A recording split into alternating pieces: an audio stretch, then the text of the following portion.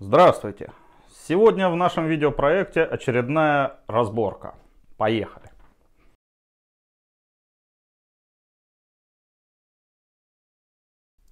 Прямиком из солнечной Италии к нам приехал котел Бакси. Модель Ecofor 24F. Наверняка многие из вас слышали о компании Бакси. Данные котлы зарекомендовали себя по всему миру. Индекс F в данной модели означает, что котел с закрытой камерой сгорания. На передней его части находится панель управления. В задней его части мы видим 6-литровый расширительный бак, пластинчатый вторичный теплообменник, латунный трехходовой клапан с сервоприводом.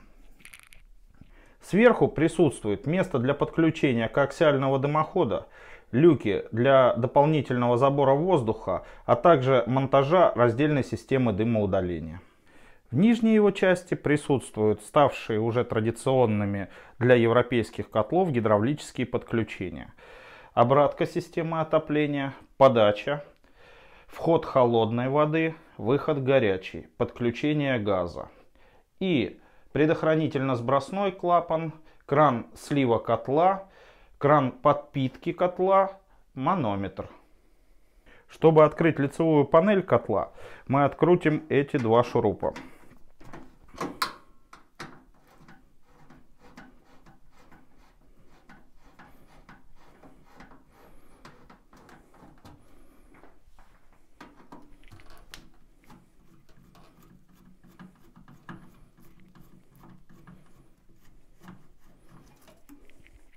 После чего ее снимем. Для того, чтобы откинуть панель управления, мы откручиваем этот шуруп.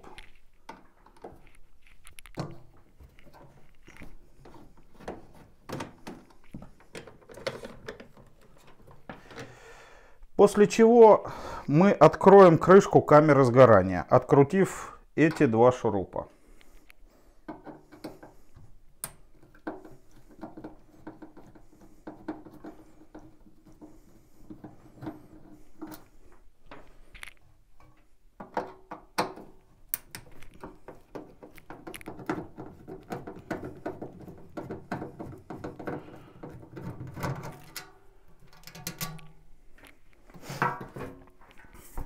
Следующим этапом мы откроем саму камеру сгорания, открутив 4 шурупа вот здесь.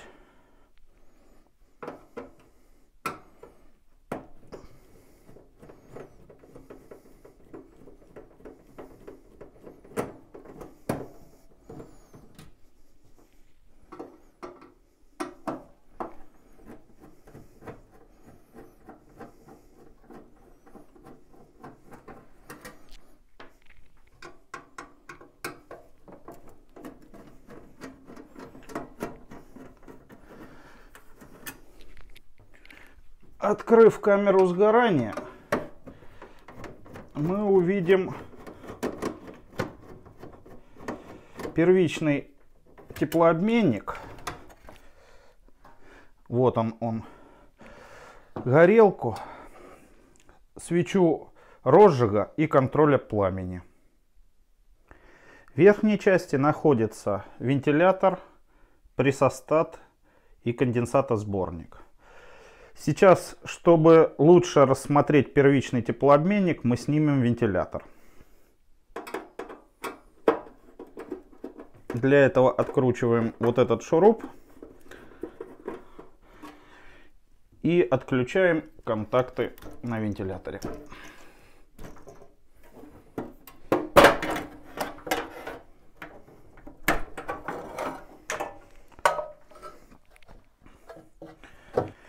Чтобы снять первичный теплообменник, откручиваем эти два шурупа.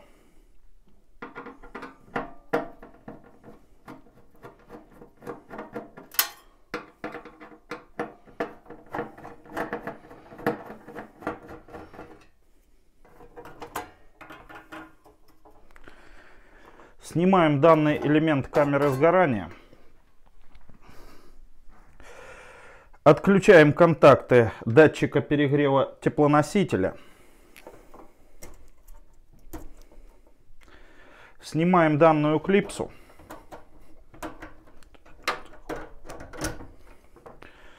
Извлекаем эту шпильку и снимаем теплообменник.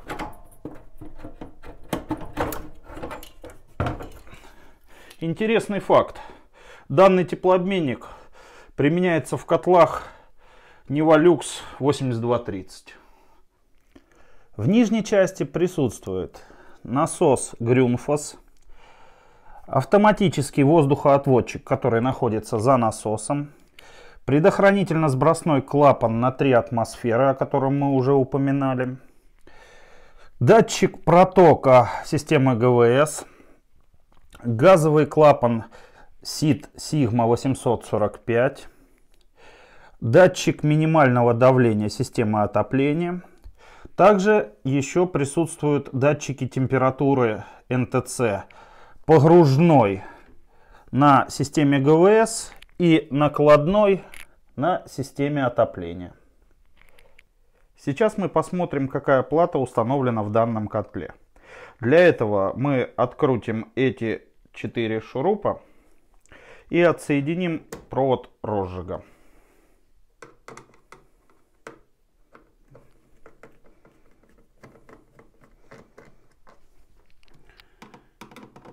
Кстати,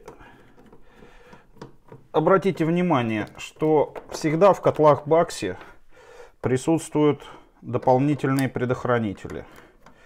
Мало кто из производителей ложит их в комплекте.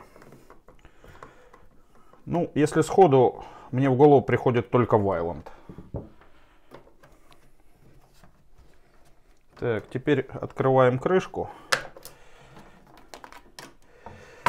Здесь мы видим плату Бертелли и партнеры. Кстати, очень надежная плата, хорошо себя зарекомендовала. На ней отсутствуют некоторые глюки, которые присутствуют на другой плате Honeywell. В комментариях под одним из прошлых видео был задан вопрос, куда в настенных котлах подключаются комнатные термостаты. В данном котле комнатный термостат подключается на место этой желтой перемычки. Сейчас мы более подробно разберем панель управления котла. Для того, чтобы это сделать, включим котел в сеть 220 вольт. Включение-выключение котла, а также переключение между режимами зима-лето э, происходит нажатием на данную клавишу. Сейчас включился режим отопления и котел сейчас разожжется. О том, что в котле горит пламя, индицирует символ свечки над э, цифрами. Изменение температуры отопления происходит нажатиями кнопок плюс-минус с изображением батареи. Изменение температуры горячего водоснабжения происходит нажатиями кнопок плюс-минус с изображением смесителя. Если с котлом что-то случается, на экране появляется код ошибки. К примеру, как сейчас э, должна появиться ошибка E01. Ошибка E01 говорит о том, что произошел неудачный розжиг. Сброс ошибки происходит нажатием на кнопку R. После чего котел делает повторную попытку розжига.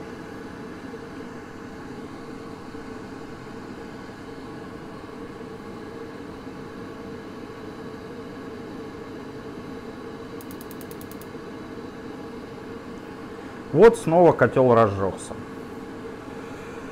Также осталась клавиша с символом И.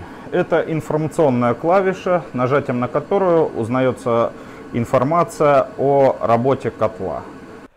Как вы уже могли заметить, в данном котле не используются композитные материалы. Он занимает лидирующую позицию в своей ценовой категории. Это достойный выбор для обеспечения тепла и уюта в вашем доме. Не забываем про наш конкурс, розыгрыш приза в котором мы планируем провести 30 сентября. Чтобы его не пропустить, ставим колокольчик, а также подписываемся на наш канал и сообщество ВКонтакте.